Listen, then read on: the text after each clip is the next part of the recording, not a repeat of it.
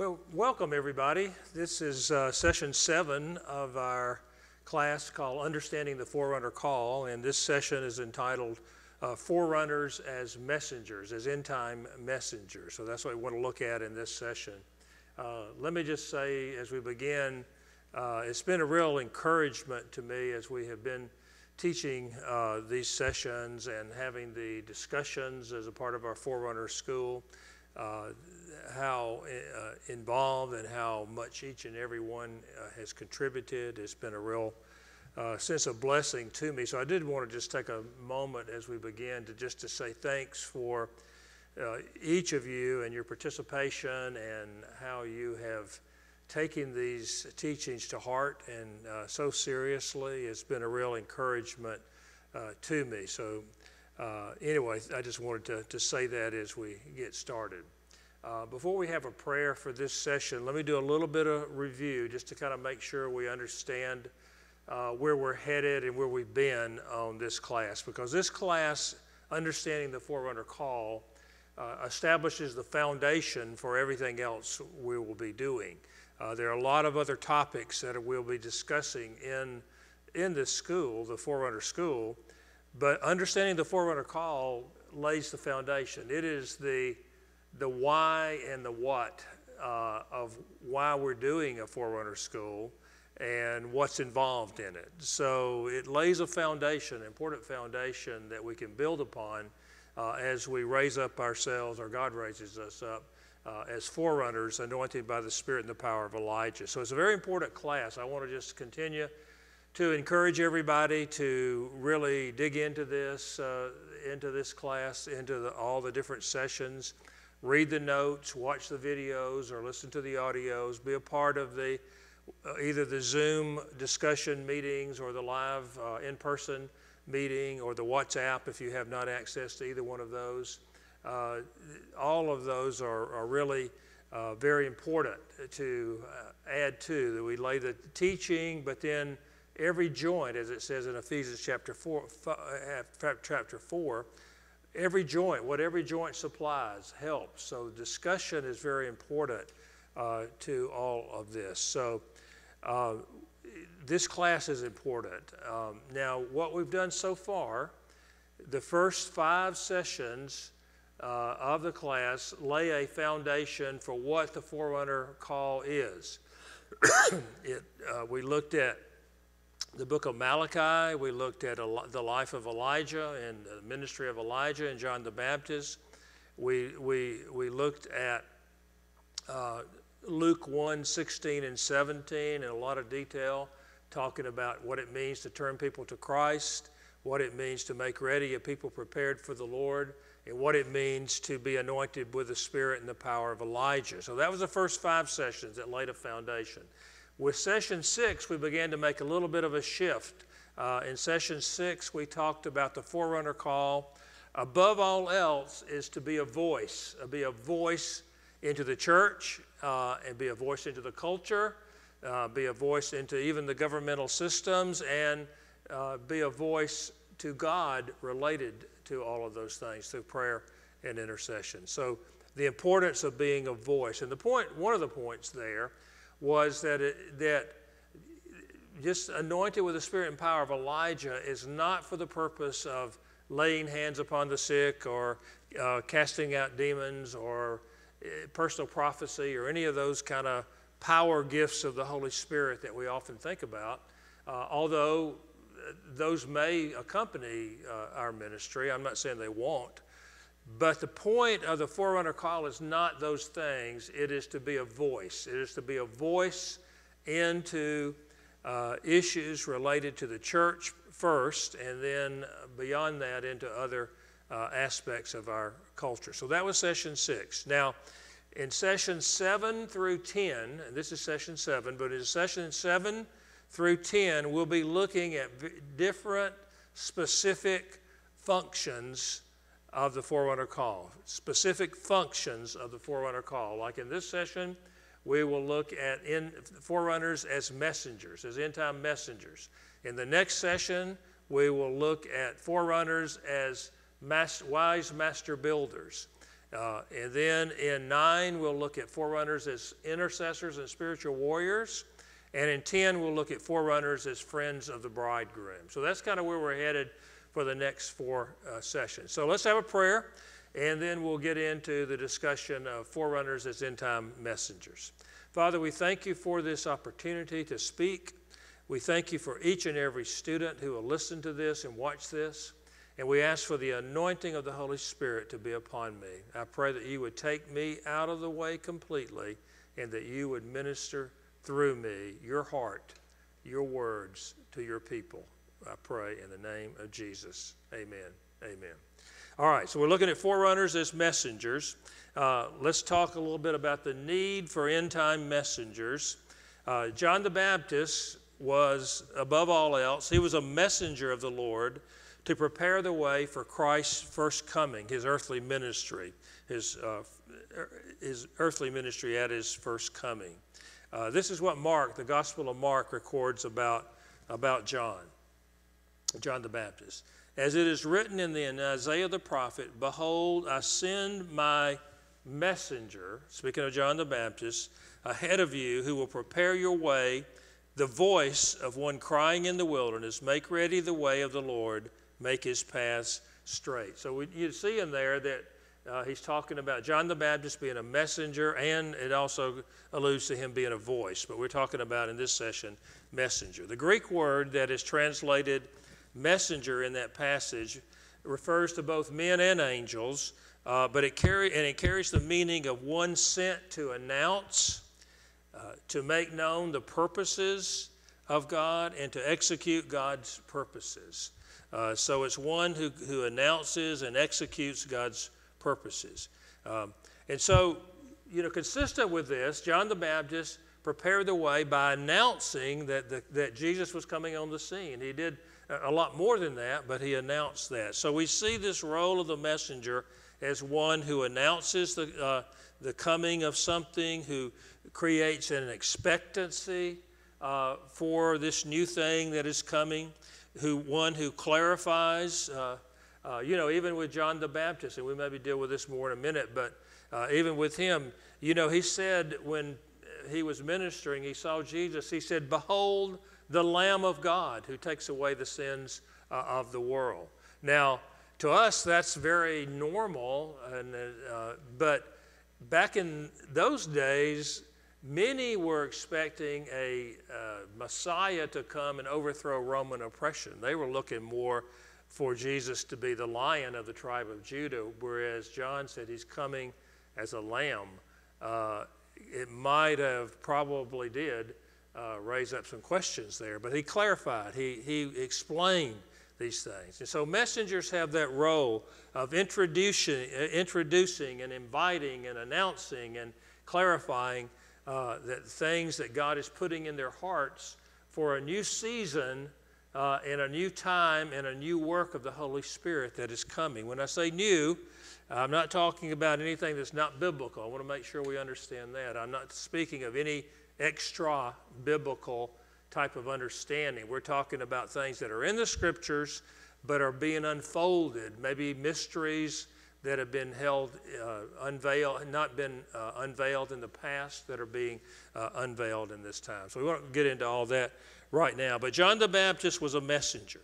Uh, Elijah also was a messenger, a little bit different uh, role than John the Baptist, but he was a messenger. You know, when he gathered the uh, the people there. He had first initiated the drought that was coming upon the land through a prophetic word. Uh, and he said, It's not going to rain except by my word. He, what was he doing? He was uh, creating an expectancy that something needed to change. Uh, so he was functioning as a messenger. Then also, he gathered the people uh, together and he said, If Yahweh is God, follow him. In other words, he was inviting them back, in this case, back to the true foundational scriptures where they had drifted far, far, far away from them into Baal and Asherah worship. So he was calling them back to that as a messenger. Uh, we see also with Elijah uh, in 1 Kings 21 where we see um, Ahab and Jezebel stealing Naboth's vineyard and then having him murdered. And then Elijah comes on the scene and he declares judgment upon them. He declares that because of this, that Ahab, that uh, Ahab's entire line would be wiped out and that Jezebel would be killed. And of course, both of those things took place uh, when Jehu became king. And so he was functioning as a, uh, as a messenger. Now, in the same way that John the Baptist, in the same way that, that Elijah operated as messengers, end time forerunners will also function uh, as messengers uh, of, of the Lord. Uh, to introduce and, and invite people into a new expression in the context of what God is saying in these end times to prepare the church, uh, primarily to prepare the church for what is coming on the scene, for what they need to be, what the church needs to be, how it needs to be different, how it needs to be prepared. Uh, so, uh, end time messengers are needed just as much. You know, we we see that in the book of Malachi. We've already discussed these scripture verses, but Malachi chapter 3, verses 1 through 5, Malachi writes, Behold, I send my messenger, and he will prepare the way before me, and the Lord whom you seek will suddenly come to the temple, even the messenger. Now, this messenger, the second one he's referenced, is to Christ uh, of the covenant in whom you delight. Uh, so there's a lot more to that, but we won't take the time there. But God sends messengers before Christ or before the Lord comes because you can't endure. Who can endure the day of his coming? And so God sends in his love, in his grace, in his mercy, he sends messengers uh, to wake people up, to invite them, to clarify, to create expectancy so that they'll be made ready when ultimately in our situation when Christ comes, but not even before that, be made ready for all the various issues that are coming in the context of his second coming. Many, many issues that are, are there. Um, and so, what I've established so far is that there is a need uh, in the body of Christ, in this hour, in this time, for end time messengers. And one of the roles of forerunners is to be an end time messenger. Now, let's do, I want to set the context here. This will be related to this session and the next, actually. I want to look at the Apostle Paul and how he ministered because Paul ministered first as a messenger and then as a wise master builder, which we'll look at in the next session. He ministered first as a messenger and then as a wise master builder. Um, so let's look at that. Of course, we know that he called himself a wise master builder. 1 Corinthians chapter 3, verse 10 is clear there. We're not gonna, we'll, we'll deal with that a little bit more maybe in the next session. We won't go to there now. But he, so he said, I'm a wise master builder. But he also was a messenger sent by the Lord to introduce the new covenant into uh, the Jewish people and then ultimately into the Gentiles. So he introduced it as a messenger and he helped create a spiritual environment for that theme, that, ver- that message to be accepted and bear fruit as a wise master builder. He did both. Now let's look at this. Uh, if you look at the book of Acts, and we'll, we'll We'll look at uh, a little bit here in Acts chapter 13 uh, on his first missionary journey. Now, what I'm trying to show is how he went as a, a messenger and then uh, he went as a master builder. If you look at his journey, he, you know, he went on, this is not the first place he went, but he went to Pisidian Antioch. Uh, and then he went there to, and where did he go? He went to the synagogue uh, there. So he went to where believers, worshipers of Yahweh, were gathered. He went there uh, and he began to invite them into a new way of relating to God, uh, introducing Christ as their Messiah. So, what did he do? He went there and he preached the gospel. He preached Christ. He preached Christ and he preached Him crucified. You can see it in Acts chapter 13 starting with about verse 14. And it's a, quite a bit of uh, almost the whole chapter, if not the whole chapter of Acts 13, deals with that. So he dealt with all those, uh, all those issues. He, he went first to the people of God and he invited them into a new way of relating uh, to God. Uh, now we see that some received it. Uh, verse 42, uh, and Paul and as Paul and Barnabas were going out, the people kept beg, begging that they th- these things might be spoken to them the next Sabbath. But then some of the Jews, the next verse, uh, got upset about it uh, were urging them to continue, but then a little bit later, not the next verse, but they, some else, some were getting upset about it. So anyway, what we see, we see the role of Paul as a messenger. He went to where the people of God were, invite, were assembled, and he spoke to them and invited them into something that God had initiated in this, this that season. But that was, that was not the only place uh, he did that. Uh, if you look at Acts, and I'll not read all these passages, but I'll quote them. They're in your notes, and you can look at them. But because I want, what I want to do is I want to establish this is the pattern of how messengers and wise master builders work together. Because, uh, and it may be the same person or it may be different people, but, but uh, there is that connection between forerunners as messengers and forerunners as wise master builders. Uh, in Iconium, this is Acts 14, 1 through 7. In Iconium, what did they do? They entered the synagogue uh, of the Jews and spoke in a manner that a large number of people believed. Okay, so what did he do? He, again, he went to the synagogue where the worshipers were gathered and he introduced a new thing. We see the same thing in uh, Thessalonica, where um, it says here, where there was a synagogue of the Jews. And it says, and according to Paul's custom, according to his custom, he went to them, and for three Sabbaths he reasoned with them from the scriptures and explaining, giving evidence that Christ had to suffer and rise again from the dead, saying, The Jesus whom I am proclaiming to you is the Christ, is the Messiah that you've been awaiting. And so, what was he doing? He again went where people were gathered Worshippers were gathered, and he introduced, he invited them into a new thing, into a new way. We see the same in uh, Acts 17, verse 10. Uh, the brethren immediately sent, uh, this is to Berea, uh, and he did the same thing. He immediately he went to the synagogue of the Jews and did the same thing. We see it the same in Corinth in verse Acts 18, verse 4, where he was reasoning in the synagogue, uh, explaining to them. Uh, and then also in Acts 18, uh, verse 19, in Ephesus, uh, that he left them and now he entered the synagogue and reasoned with the Jews. So you, uh, I, I, know I took a, a, fair amount of time to kind of explain that and show you a lot of places in Scripture. But what I want to show, what I want, the point I wanted to make was this was Paul's pattern. This was his custom. He first went as a messenger uh, into the synagogue, into where worshipers were gathered. Now, that doesn't mean we have to go into the synagogues, but we go, if you take it into today's situation, we go into the churches.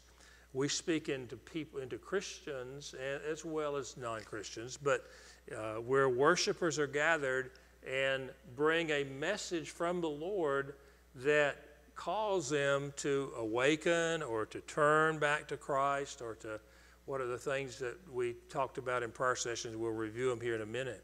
So we function as messengers.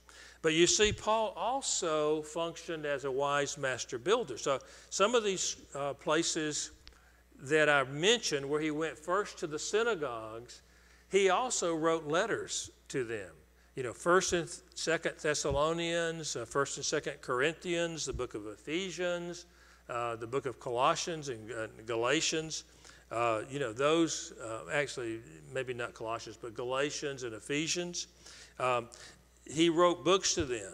He spent a lot of time there. He said that he spent 18 months in Corinth teaching them, training and equipping the church. So, what do we see?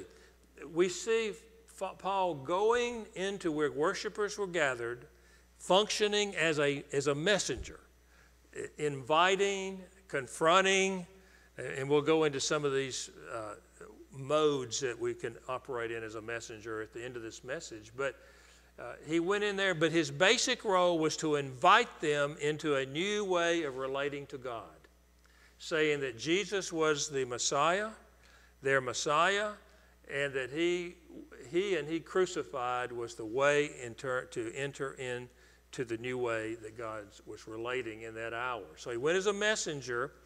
And then what happened for those who said yes? Now you know you know as you read through Acts that not everybody said yes to his message. I mean, some said yes, and uh, a lot of them said no. Uh, but for those who said yes, what did he do? He gathered those and he taught them. He trained them. He equipped them. He explained to them how to function uh, in, in that role, in that, in that new thing, not role necessarily, but in that new expression of God's life. He explained to them how to do it. In addition to spending a lot of time with them, he wrote letters. He wrote a letter to First and Second uh, to the Thessalonians, two letters. He wrote letters to the Corinth. He wrote letters to the Ephesians. So what do we see? We see him functioning first as a messenger, and for them, for those who said yes to his message, he functioned as a master builder, as a wise master builder. Uh, and so we, as end time forerunners, uh, we are to do the, very, the same. We're to function as a messenger uh, and also as a wise master builder. Now, I want to make a couple points before uh, we move on. Uh, first, we know that Paul was an apostle, uh, and he, as an apostle, he planted new churches. He planted churches all over Asia Minor, a number of new churches. But his apostolic ministry, in my opinion, was not as much about planting new churches as it was about planting new truths. He was planting a new truth. Now, when I when I say a new truth, I'm not talking about something that's not in the Bible. I'm talking about a truth that is uh, scriptural, but is being unveiled to the people in a new way. His apostolic function was more about planting, uh, introducing people to Christ than it was about planting churches. Uh, now, I know, you know, different parts of the world it's different, but a lot of uh, places in the world, an apostle is one that plants a multitude of churches. Well, maybe so, maybe not. I mean, you may, people who plant a multitude of churches may just be church planters who may not be apostles, or they may be. But the apostolic function of Paul was more about introducing new truth. And so, uh, wise master builders uh, equip and empower people to walk in these new truths. Uh, so, uh, that was the first thing. The second point I want to make before we move on is that uh, not every not everybody will function both as a messenger and as a wise master builder. A lot of times it's a team, it's an effort. A forerunner ministry is an effort of multiple people. Some may have the anointing more as messengers to speak and to confront and to challenge and to uh, call forth whereas others might be, their anointing might be more to teach and train on the how to's and, and to create the environment that the, that the fruit might come forth of the new message. Both are very necessary. Uh, one's not more important than the other, but not everybody has the gifting to do all. But some may, but uh, some may not. Some may, and some may have their role primarily and almost totally as intercessors and spiritual warriors. A very important aspect of that. So, messengers and master builders could be the same person, or it may be uh, different uh, people. Um, so, anyway, end time forerunners have to have to function much like Paul did. Uh, they they must be messengers and master builders. Again, maybe not the same person, but that function needs to work uh, together.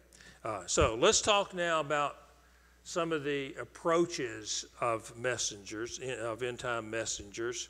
Um, end time messengers will speak on behalf of the Lord in a variety of ways.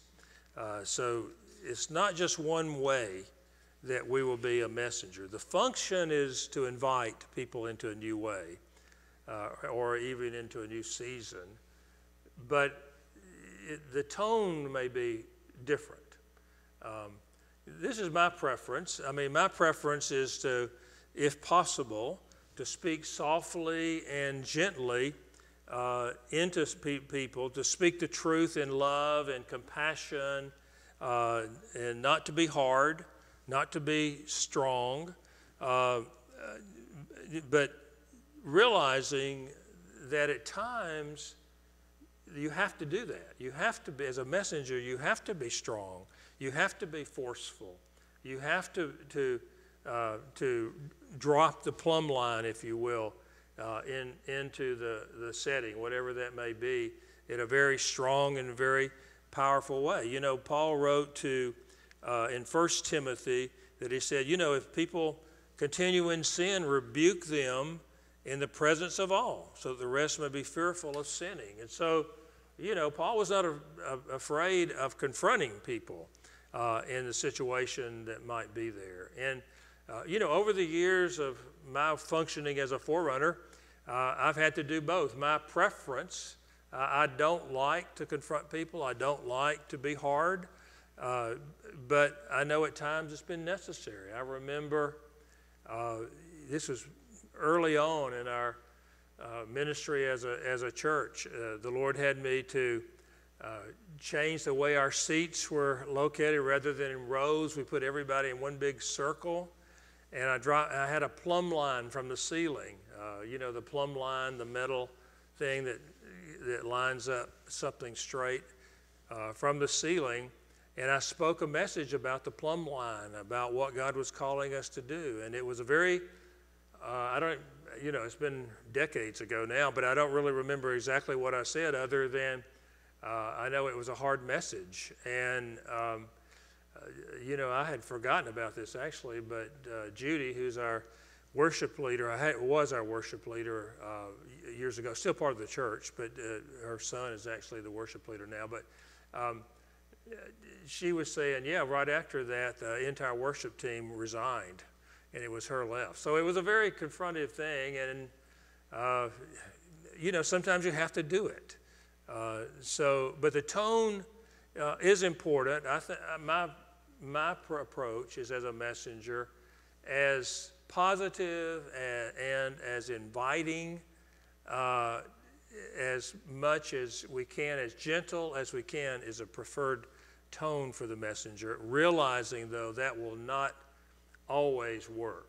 Uh, and so there are definitely times when we have to be tough. So, anyway, we talked about uh, that tone. Now, now, before we move into there, I've got like, I think seven or eight, if I got exactly the number, of different modes or approaches that forerunners as messengers use. But before I do that, I want to just review again what we're a messenger of. Uh, this is really from sessions two and three. But I want to make sure we don't get we don't lose the overall vision of what we're trying to do because of the trees. We don't want to miss the, the forest for the trees. Um, so those five things that we talked about in session two that forerunners are to do, they're to turn hearts of the people back to the person of Christ. Forerunners turn people back to God's eternal purpose. And if you have forgotten all this, go back and look at session two in this class, and it goes into a lot of depth on that. Forerunners turn people from the focus on external things of God to an internal kingdom. Uh, forerunners turn the hearts of leaders to their spiritual children, away from themselves and self focus. And forerunners turn the disobedient to the attitude of the righteous. And so that's the purpose of why God's raising up forerunners. I mean, there are also times and seasons and things like that, but they're but the overall goal is to do that, to, to turn people back into His eternal purpose and all the things related to that. And we do that. Session four dealt with this. The objective of those things is to turn people to these things, excuse me, turn them for the purpose of preparing that mature corporate man, number one, Uh, number two, preparing people to stand in the pressures of the end times and to flourish there. And then number three, to prepare people to make people uh, people ready for eternity. Those three uh, objectives. And so uh, we see that as messengers, our goal is to do this. Just like Paul, his message was to go into the synagogues and introduce Christ as the Messiah. Um, he probably used a lot of different words and a lot of different uh, ways of explaining it, depending on the people and what God was saying to him. But the goal was the same, and that's where we are uh, as well. Um, so, with that, let's talk about some of the uh, approaches uh, that we will use as end time messengers. Uh, the first one is that end time messengers announce the second coming of Christ and times or events related to being prepared for his coming. Now, there's a lot in that sentence. Let me just read it again. Messengers at first, they announce. Messengers announce. Uh, and they announce the second coming of Christ, that it's coming soon. Just like John the Baptist said, Repent, for the kingdom of God is at hand. Now, we would do the same. Repent, for Christ is coming soon. Uh, we don't date setters and we don't know when it is, but we know that times and events and circumstances and the witness of the Holy Spirit is that He is coming soon. So, messengers announce the second coming of Christ uh, and also times or events related to being prepared for His coming.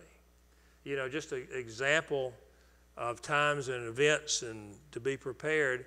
Uh, you know, as we have entered into this decade of the 2020s, uh, I know the Lord really, at the beginning of the year, really put on my heart that this is going to be a different decade than we've encountered ever before in our lifetime, for sure, my lifetime. And it has been. It's been unbelievable, just some of the things that have happened uh, in this first year of this decade. And so there's certain times and events and seasons that, that are happening related to God preparing his people for the end times and for the second coming that are related to that. You know, maybe things of judgment coming upon the earth, maybe things of what God's saying in terms of preparing his people, the message that he's raising up, the, the work or anointing of the Holy Spirit that he is introducing. And so there's a lot of that. There's a mixture. There's, there's the, the overall message of turn to, turn to Christ because he is, he's coming soon. But there's also these secondary issues that are related to the second coming. And forerunners, as they are led, know, uh, uh, like we said in the last session, a voice from the throne as God speaks these things, they announce this type of thing uh, to uh, the church and to the people uh, of God. Um, so anyway, that I think I, I, was just looking at my notes to make sure. Uh, let me just read this one more scripture verse relating to announce. Um, here's what Isaiah wrote about John the Baptist, and it pertains to end time forerunners too. It says, Get yourself up on a high mountain, O Zion, bearer of good news. Lift up your voice mightily, O Jerusalem, bearer of good news. Lift it up, do not fear. Say to the cities of Judah, Here is your God. Behold, the Lord God will come with might, with arm ruling for him. Behold, his reward is with him, and his recompense before him. In other words, get up on the mountain and announce and say, He's coming, He's coming. Get ready. So that's the first mode is uh, that forerunners announce the soon coming of Christ and a lot of other issues related to that and to for, call people to make themselves ready. The second function is that end time messengers uh, invite believers, pastors, and the church in, in general into a fresh way of relating to the Lord so as to be prepared, uh, be prepared for the end times, the second coming uh, of Christ uh, and eternity. Uh, that's a, a, a, again a long sentence, but end time messengers invite uh, believers, pastors and the church into a fresh way of relating to the Lord, to be so as to be prepared. Uh, you know, John the Baptist did this. In his messengerial role, he called on Israel to repent, for the kingdom was at hand, just like we had mentioned earlier. He, what he was doing, he was inviting them to turn to a new way, to a new thing, inviting them into, into this. And that's what messengers do. I mean, they, they invite people into this new thing that God is unveiling to the church. And um, uh, we see the same with Paul in when he in his travels. We've already talked about that. But what did he do? He went to the synagogues and he invited them into a new way. And those who said yes, he worked with them and he taught them all about that. Um, so uh, that's the second uh, part is to invite. Uh, I'm just looking at my notes to make sure I don't miss anything. Okay, the next one uh, end time messengers also reason and explain where the church is in error so as to persuade the church to accept the invitation of the messenger. Again, there's a lot in that sentence. End time messengers, they reason with people. It's not just one time, okay, I, repent because the Lord is coming back, and you go, and that's all you say. What did Paul do, and what do we do?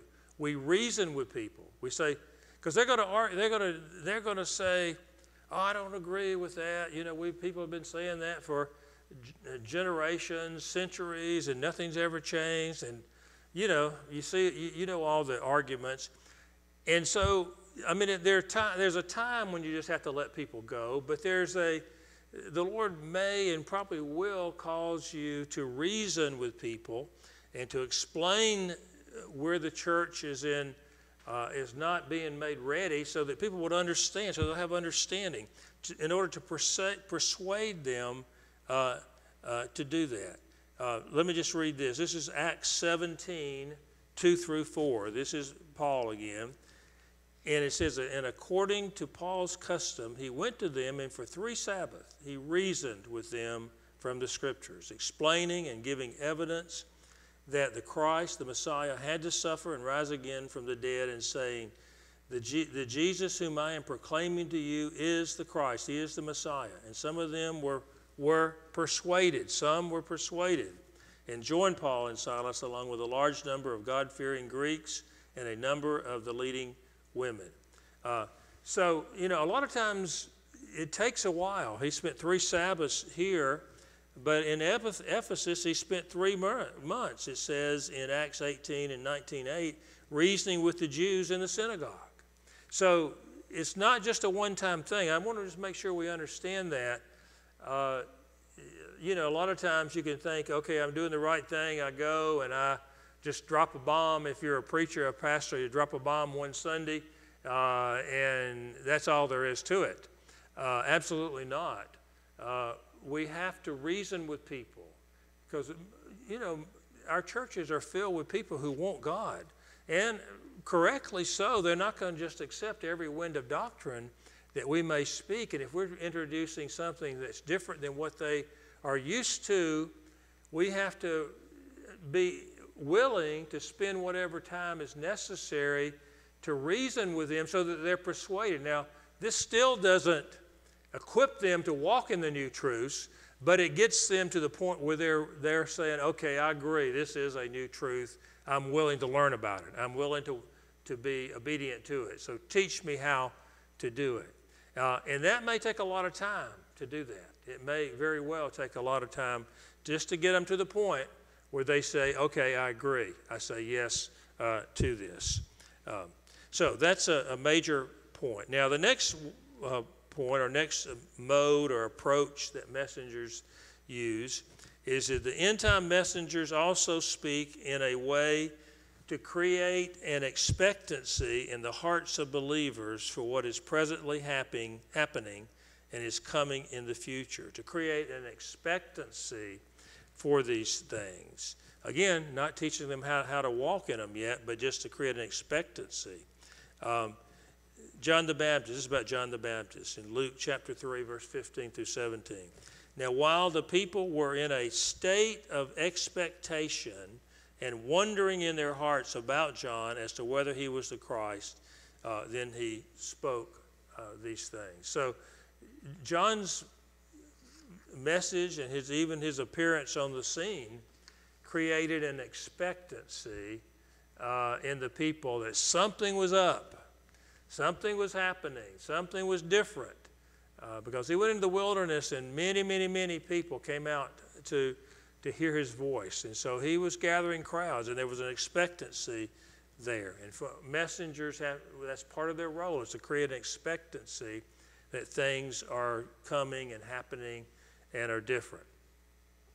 All right, the next one, the next, again, approach that messengers function in is to is this that end time messengers also clarify misconceptions and they clarify lack of understanding related to Christ's second coming and the issues related to the end times uh, and to eternity. They clarify misconceptions. And we mentioned this um, earlier in the message, but I want to mention it again. You know, John uh, the Baptist, when he saw Jesus, he said, Behold the Lamb of God who takes away the sins of the world.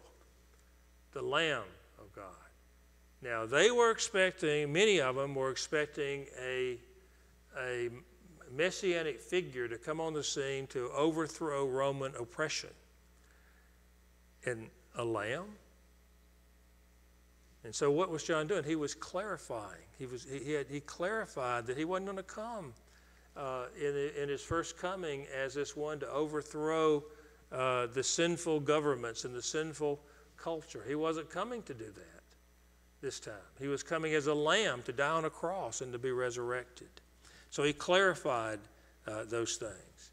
Uh, I know in our own church, this was, uh, I've mentioned this a number of times in different uh, messages, but it was uh, very, it, probably the most, one of the most recent things where God came to us and invited us into something new. Uh, and it, required a lot of clarification.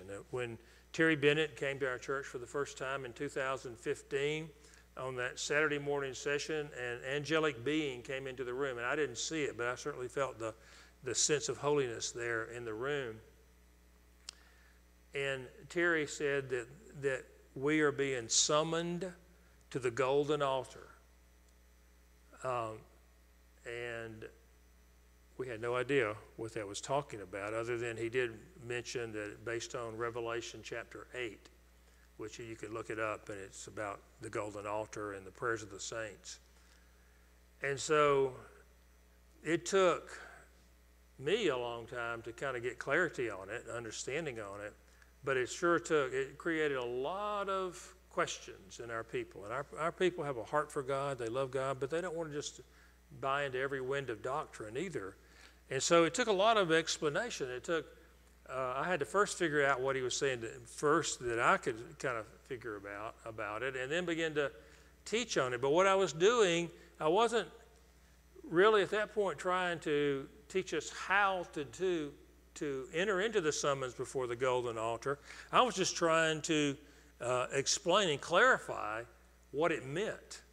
Uh, and it took quite a while. It took, uh, really, it's taken years to kind of get a real clear understanding uh, of it. So, messengers do that. They have to clarify misconceptions and lack of understanding as to how things uh, should operate, uh, whatever God might be saying. Now, a couple more, I think. The end time messengers will at times confront the church in order to awaken them to what God is saying to the church. Confront the church. Now, John the Baptist, the Pharisees and the Sadducees came out there and he said, You're a brood of vipers. Uh, and so that was not a sweet, gentle message. He confronted them and told them to repent and bring forth fruit, inconsistent with their uh, with them on that. So um, you know, sometimes you have to confront. I mentioned the, the situation with the plumb line. Uh, that was a time of confrontation, and there have been others. I know when uh, the, the Lord called us a few years ago back to two years of training to be made ready. And it seemed like the first six months, every message that Brian spoke or I spoke was a message of confrontation, confronting the people. But, but it was in God's love, even though a lot of time, a lot of the people didn't think it was in God's love.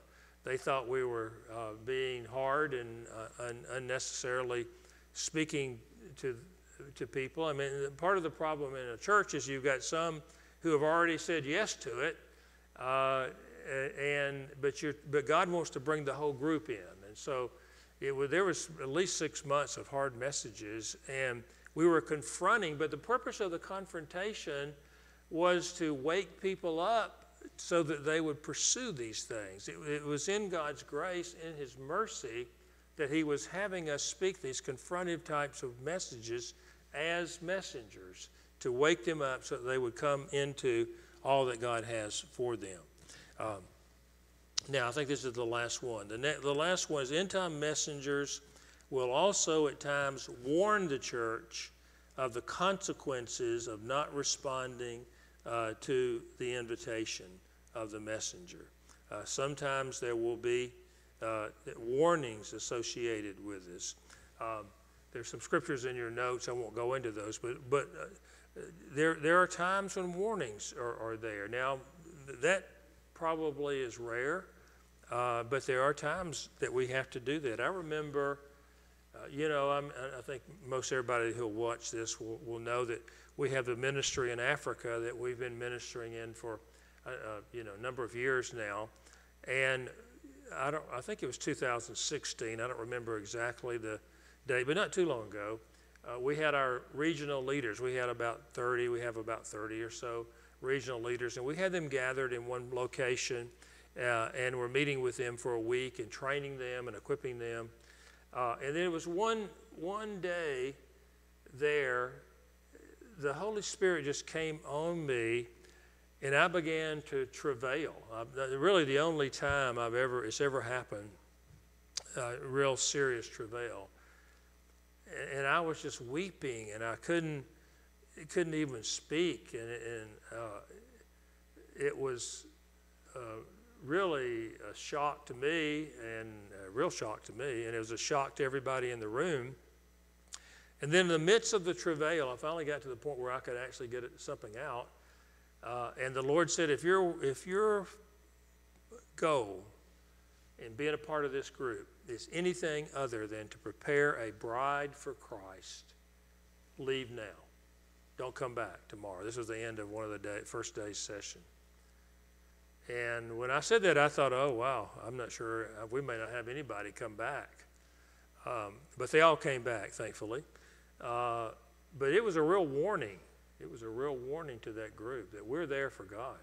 We're not there to, for them to have some uh, title or something that they can tell their friends about, that they are part of an international ministry based in America or any kind of motivation for money or anything like that. They are there to prepare a bride for Christ. And if their motivation is anything else, it's not acceptable. It was a warning uh, to the people there. And there are times when that will be the case uh, with us as messengers. We will have to warn the people if you don't say yes to this, there are consequences. And there have been other times we've had to do that, and messengers will have to do that. Uh, again, you're, you're, as a messenger, you may be leading a church or a congregation, and you'll be a messenger. You, God may send you to other churches, and you may do likewise. Or it may just be one on one. Not you don't have to be a pastor or a leader uh, in the body of Christ to be a, to be a messenger. Very often, God will lead you into one or two or three people and uh, to speak these things. So, forerunners uh, must function uh, as messengers, as end time messengers. It's a very important and a very powerful aspect of the forerunner call to be a messenger. So, let's pray that God would uh, raise us up as forerunners who are end time messengers. And we do pray that in the name of Jesus. Amen.